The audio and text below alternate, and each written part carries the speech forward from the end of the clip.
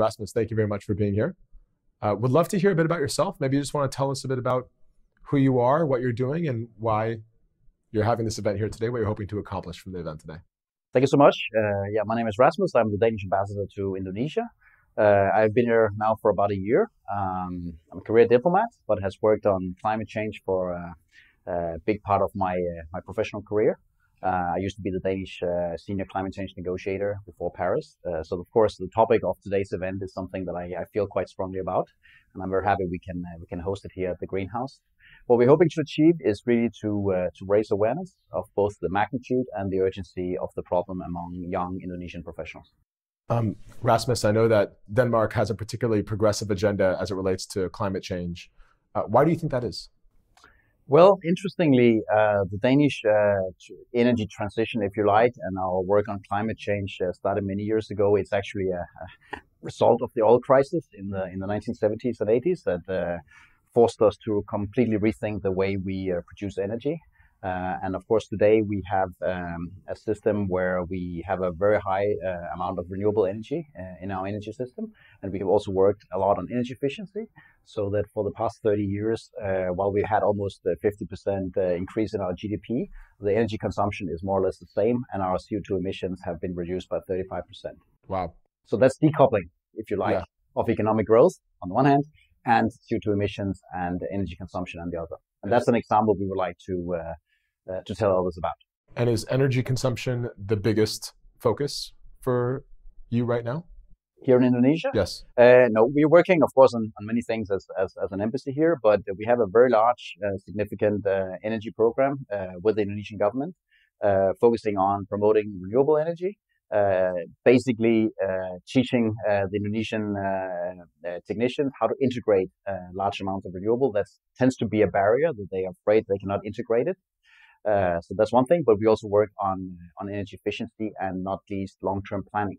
Because if you want to transition or transform your energy system, it's a 20, 30 year perspective you're looking into. Wow. Are you finding a support system working with the, the government here? Do you feel there's infrastructure in place to push environmental consciousness, sustainable operations? Uh, or do you feel it's just, that is still developing here in Indonesia? I think there is, of course, a, a, certain support system in place, but I think there is also still maybe a little bit of lack of awareness, if you like, uh, of uh, of uh, you know the uh, the good things, if you like, of, of, of for example, renewable energy. There are a lot of myths that we are hoping to, to debunk, if you like. Uh, first of all, the myth that renewable energy and energy efficiency is very expensive. It is not. In Denmark today, wind power, for example, is the cheapest fuel source available. And if you're a Danish politician, why would you choose something that is more expensive uh, uh, yeah. than than wind? So it's not really only about climate change; it's also about choosing a long-term, cost-effective solution, and and that's one of the things that we're trying to convey. Really nice. Uh, let's talk about. So you talked a bit about renewable energies. How about solar?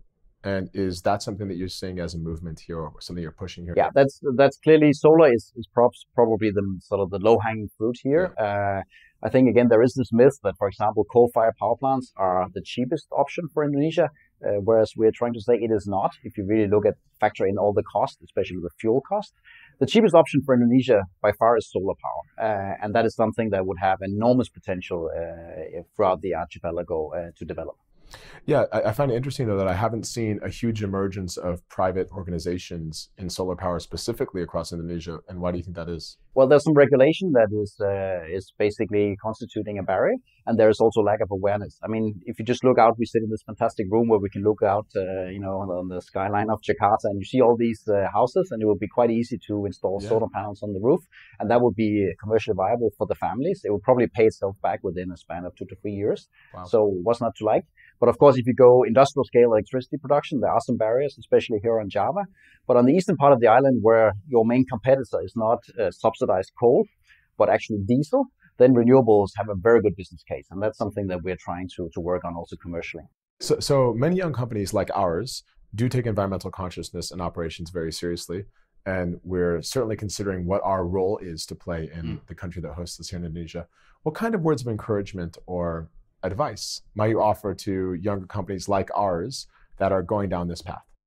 I think in, in general, uh, companies can play an incredibly constructive role uh, in uh, promoting a green transition uh, of societies and economies. Um, we see some of the very big companies uh, in the world today uh, having requirements that they only want to source 100% renewable energy, whether it's Facebook, Amazon, Google, etc. But even smaller companies or service companies can do a lot, both on their own. They can take a look at their own operations and see if they can become more energy efficient. For example, typically in, in sky rises like this, there are a lot of low hanging fruits where you could save a lot of energy with the equipment that would pay itself off uh, quite easily. And then, of course, you have, as we do today, uh, the opportunity to uh, raise awareness, spread the message, and encourage others who are maybe not aware of, of, of the opportunities and um, and the things that you can actually do to to create a better world. Got it. Rasmus, thank you very much for being here today. My pleasure. Cheers.